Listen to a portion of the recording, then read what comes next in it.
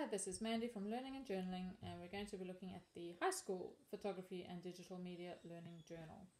So, this is more complex than the primary school one that we looked at in the, one of the other videos.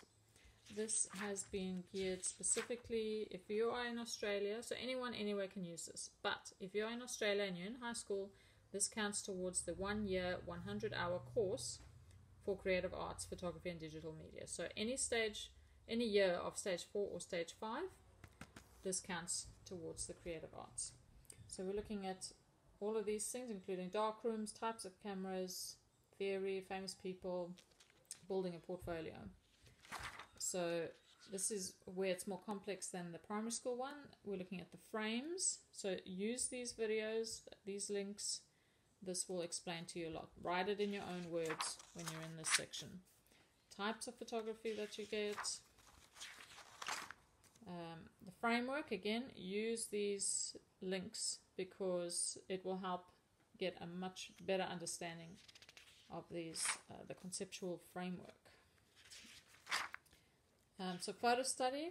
So you choose any photo to study. Is it a nature photo? Is it an art photo? Whatever. You choose where your interests are but you need to break it down and look at it assess it critically analyze it in these the conceptual framework and the frames.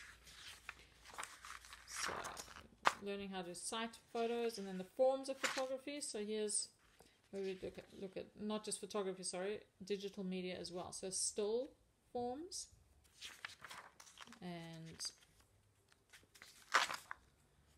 how that has been used to preserve history. And then I have the interactive forms, so web design and computer games and so on. How that has been used to preserve history. Some inventions that were linked to that. Moving, so this is for the film producers. How that has been used for preserving history. Famous people. History of digital media. Again, I have given some links in there. And then of those three forms, choose one that you want to go into deeper. So any of those three forms, um, the child can look at much deeper. So do that as a project. And then computer-based technology also needs to be covered. So any app or computer program or website where a photo or a short film or anything has to be digitally done, this is where you're going to record your um, progress on that. So many kids are actually already doing this kind of thing. So this is just for recording their, um, yeah, making a record of it.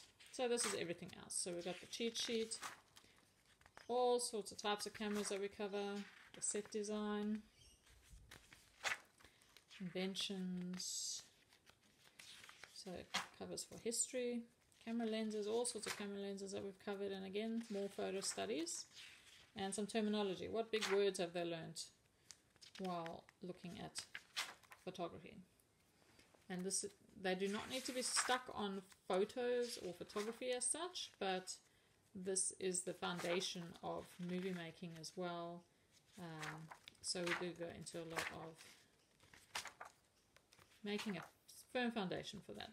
At the end of this section, let me find it.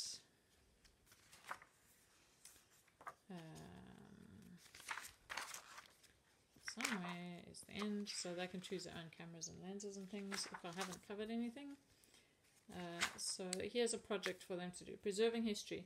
Choose a historical event to research through the eyes of a photojournalist. What type of camera was used? What kind of dangers would the photographer have experienced? How did the journalist's photography help preserve history for future generations? So they can print out photos from that journalist um, that covered the event and write up what, how they feel that affected history. Choose your own photo to study and, and assess. And then my portfolio.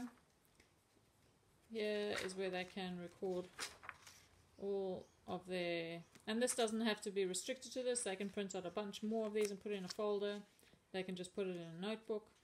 Um, any digital projects that they're doing can go in this section. So a storyboard for an animation or a stop motion or the web designing that they're doing, just record it over here. So this becomes their portfolio to show that they've done 100 hours. So we do also have um, some presentation projects. This one's create a PowerPoint. We have some assignments in between. Um, yeah. So it's very much high school level. Um, or if your older primary child is very interested in photography, that might meet them, but it's very much made for high school. But thank you for watching. Um, you can also get the primary school one over at learningandjournaling.com.